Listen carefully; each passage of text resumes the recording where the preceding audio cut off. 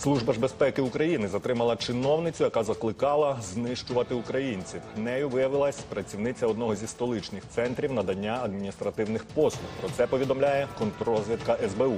На початку повномасштабного вторгнення жінка створила у соцмережі фейковий акаунт. Там вона публікувала свої дописи під псевдонімом Альона Данская. І в текстах жінка закликала підтримувати російську армію і називала українців нацистами.